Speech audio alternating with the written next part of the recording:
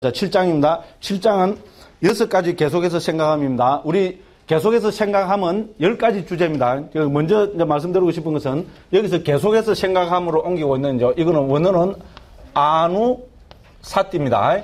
아누 사띠를 계속해서 생각함으로 옮깁니다. 저희 이거는 아누라는 접두어하고 예, 사띠가 결합된 겁니다. 사띠는 보통 우리 일반적으로 마음 챙김이나 옮기고 있는 바로 그 용어입니다. 중국에서 염자로 옮겼죠, 그죠? 그죠? 그럼 아누는 이 접두어입니다. 그죠? 뭐뭐를 따라서 이런 말입니다. 그죠? 뭐 뒤를 따라서 이렇게 하는 의미로 씁니다. 그러니까 이거는 중, 중말로 뭐로 옮기면 되겠어요? 숫자로 옮기면 되겠죠. 그죠? 그래서 수념. 주로 이제 특히 일본 같은 데서 요새는 최근에 그죠? 이, 이 우리 상자부 이걸 옮기면서 수념으로 예, 옮기고 있다 그럽니다. 그래서 저는 이걸 어떻게 할까? 마음 챙김을 살리려니까 우리는 그죠? 너무 이것도 복잡해질 것 같고 그래서 막 쉽게 해서 그죠? 계속해서 생각하면 했습니다. 수는 계속해서 안으로는 그런 이야기 했잖아요. 그래서 부처님을 계속해서 생각함. 그래서 여기 앞에는 붓다 이렇게 들어가겠죠. 그죠?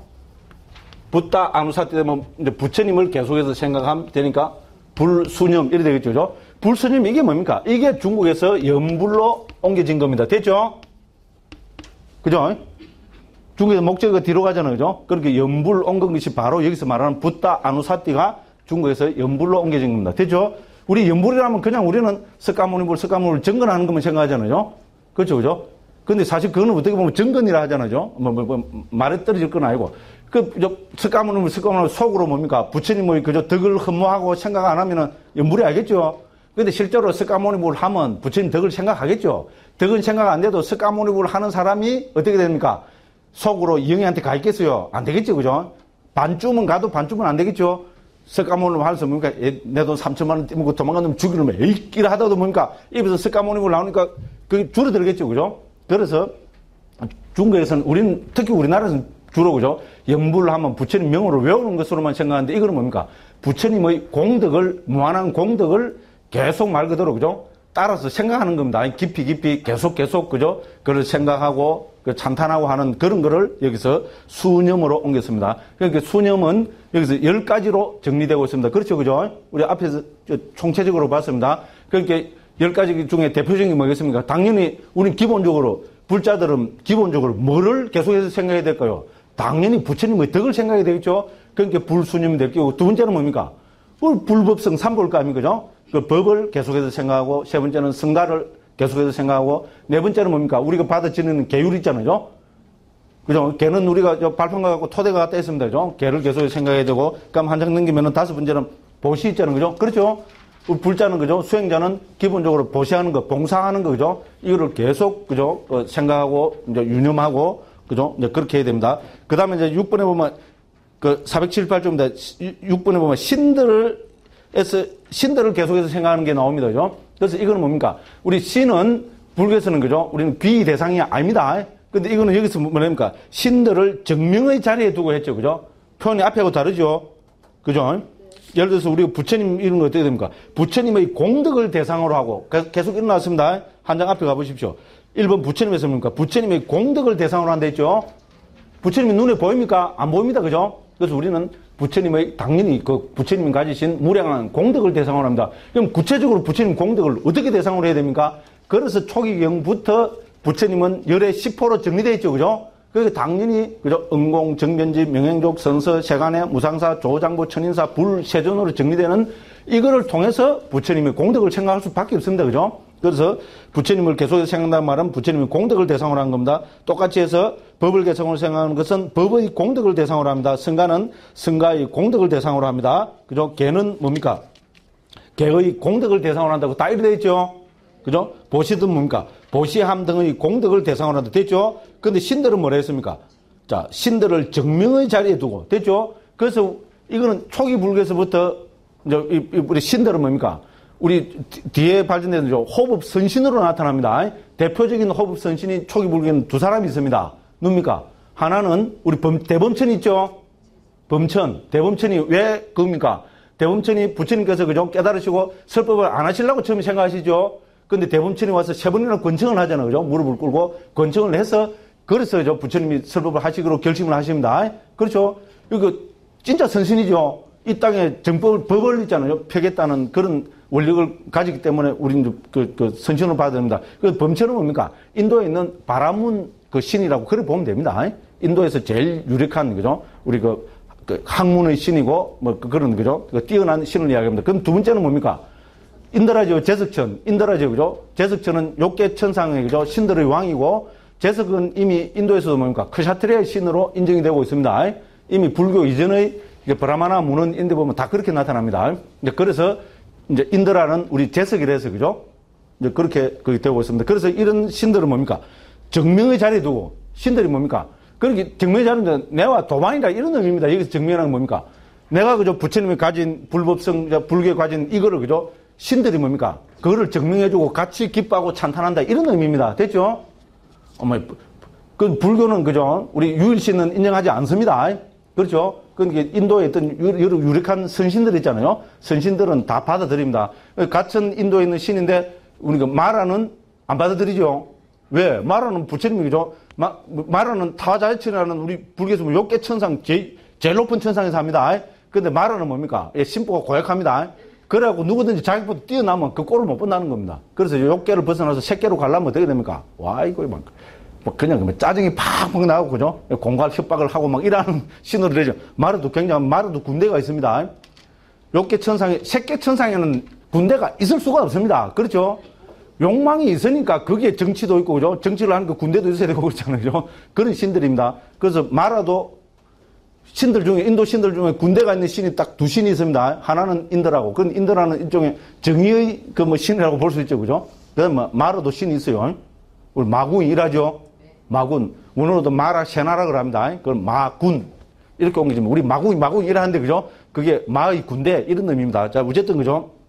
이야기하다 보고 그런데 그래서 여기서 저 신들을 증명의 자리에 두고 자기의 신심 등의 덕을 대상으로 한 마음씩 됐죠? 대상은 뭡니까? 자기의 신심입니다. 됐죠? 신한테 이렇게 가는 거는 불교 그게 아닙니다. 그 신들을 정명의 자리에 두고 뭡니까? 자기의 신심 등을 그죠? 생각하면 환희심 나겠죠?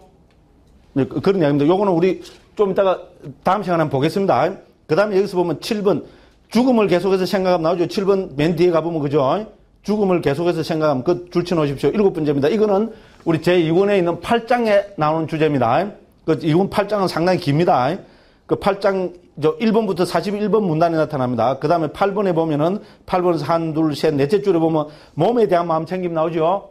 그죠? 이거는, 그죠? 이거는 8장 42번에서 144번에서 나타납니다. 그래서 우리 몸을, 몸에 대한 마음 챙김을 여러 가지로 설명하는데 여기 대표적으로 몸의 32가지 부분 있잖아요. 머리털, 몸털, 뭐, 뭐, 창자, 뭐, 뭐, 뭐, 뭐, 한, 이런 거를 쭉, 그죠? 의학적으로 쭉 설명까지 하고 있습니다. 그 다음에 9번은 들숨, 날숨에 대한 마음 챙김. 나오죠, 그죠?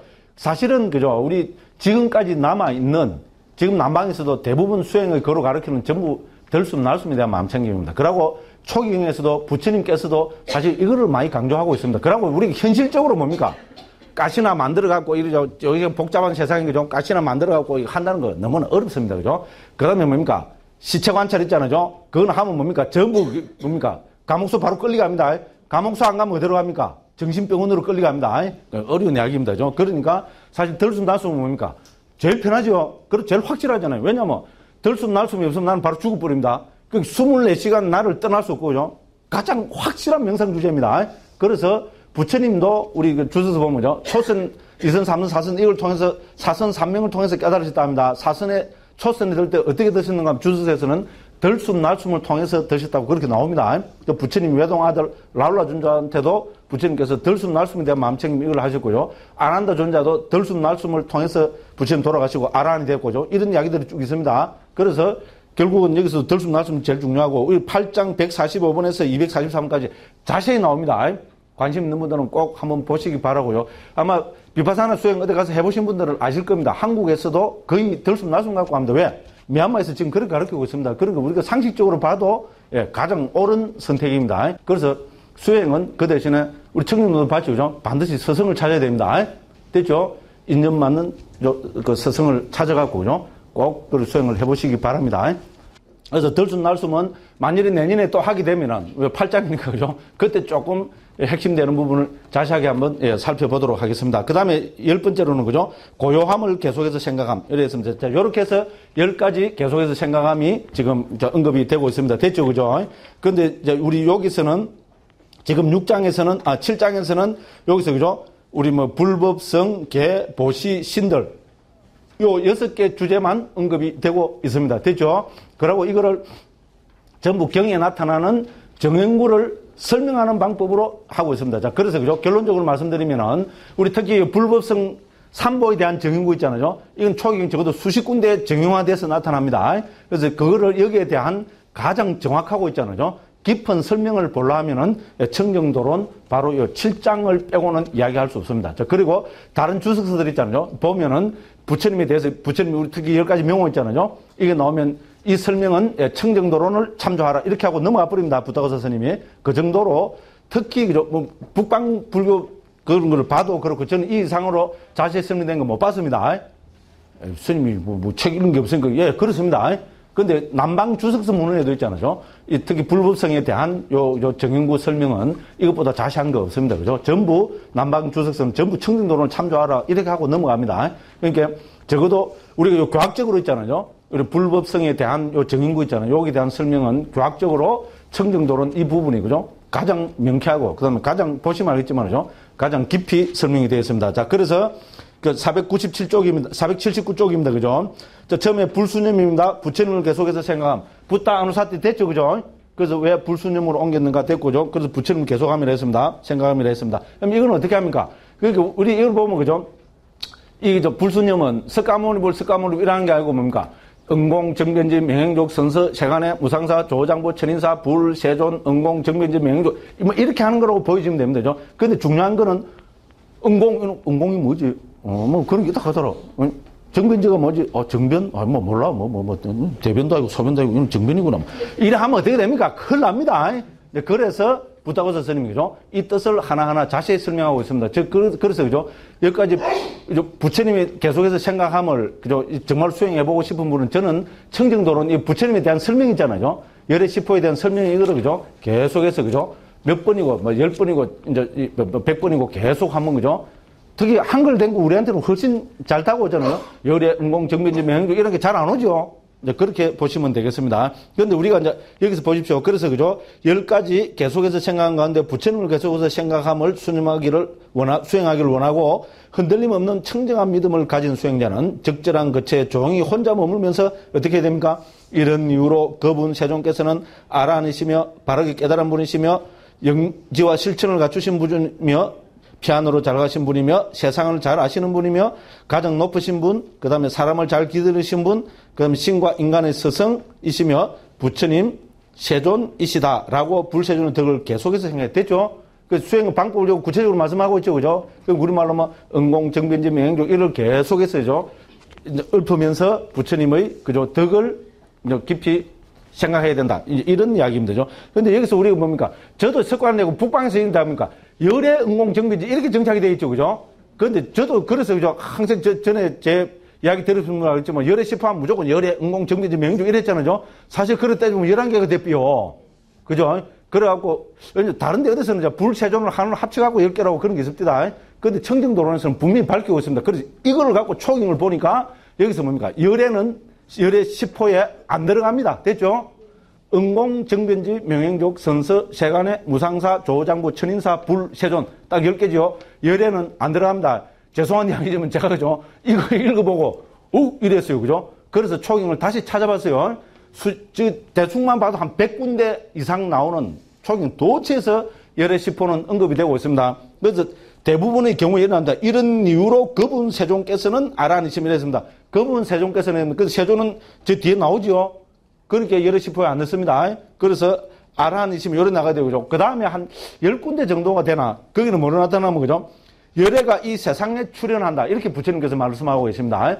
열애가 이 세상에 출현한다. 그렇게 하고 뭡니까? 그거는 아라한이며 정등학이며 명행족이며 이랍니다. 됐죠? 그렇게 제일 처음에 뭡니까? 열애가 이 세상에 출현한다. 이거는 열애 시포에 안 들어가고 있습니다. 그래서 어떤 식으로 봐도 정형구는 크게 두 가지로 나타납니다. 그죠? 자, 이런 이유로 그분 세종께서는 아란 정등가요. 요렇게 나타나는 것이, 그죠? 수- 그 대부분 수십 군데고, 그 다음에 뭡니까? 열애가 이 세상에 출현한다. 그는 아라한 정등각이다. 요래 쭉 설명하는 것이 또 한 열 몇 군데 이렇게 됩니다. 그래서 어른 경우로 봐도 열애 시포는 아라한, 그죠? 이, 그러니까 응공 정변지 여기부터 시포입니다. 됐죠? 이 청정도론에 있는 설명이 적어도 그죠? 상자부, 그죠? 불교, 우리 빨리 니까야에 관한 하는 정확한 설명이다. 이래 보시면 됩니다. 무슨 말씀을 알겠죠?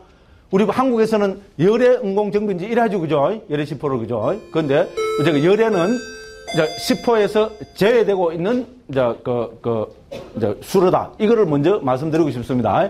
그래서 니까야에 관한 한 열애 시포는 응공 정변지 명행족 선서 세간의 무상사 조장부 천인사 불체존입니다. 됐죠?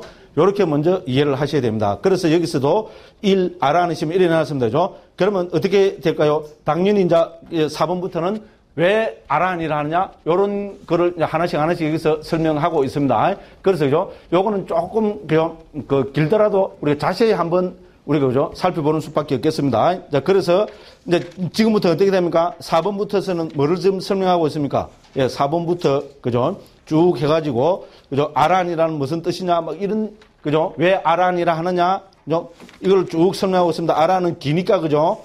그, 그 설명이 길게 나오고 있습니다. 그 다음에 2번 한번 보겠습니다. 486쪽 한번 보십시오. 그걸 보면은 바르게 깨달으신 분 나오죠. 그죠? 그죠? 그, 이게 정변지잖아. 그죠? 저왜 정변지를 하느냐? 뭐 예를 들어 사성제를 깨달으셨기 때문에 정변지를 하는데 결론은 그겁니다. 그죠? 예, 그런 식으로 여기서 그죠? 구체적으로 설명하고 있습니다. 예를 들어서 3번에 보면은 영지와 실천을 구족하신 분. 그죠? 489쪽이죠. 그죠? 그럼 여기서는 당연히 영지란 것은 뭐고 실천한 것은 뭐냐? 이렇게 되죠. 영지는 우리 삼명을 이야기하고 그죠? 예, 실천은 여기서 예, 그 15가지 그를 실천하는 것. 뭐 이런 식으로 경을 인용해서 설명하고 있습니다. 무슨 말인지 알죠? 그죠? 그 열의 10%로 그죠? 응공, 정병지, 명행조, 선서, 세간에 이거를 자세히 설명하고 있습니다. 그 부타고사 스님이 설명할 때 기본 원칙이 뭡니까? 경에 나올 때는 반드시 경을 인용합니다. 됐죠? 그러면 경에 안 나오면 어떻게 됩니까? 예, 우리 빨리 3장에 안 나오면 고주석서를 인용하고 있습니다. 그죠? 고주석서 안 나오면 어떻게 됩니까? 다른 옛날 큰 스님들을 인용해서 합니다. 됐죠? 그러니까 어떻게 보면 부타고사 스님의 견해는 없다고도 볼 수 있습니다. 그죠? 그렇게 이전에 있었던 자료들을 다 섭렵을 해서 부타고사 스님이 그걸 어떻게 합니까? 어떤 방법론을 가지고 정리해내고 체계화하고 있습니다. 그죠? 그래서 여기서도 열의 시포도 예, 그런 방법으로 합니다. 그래서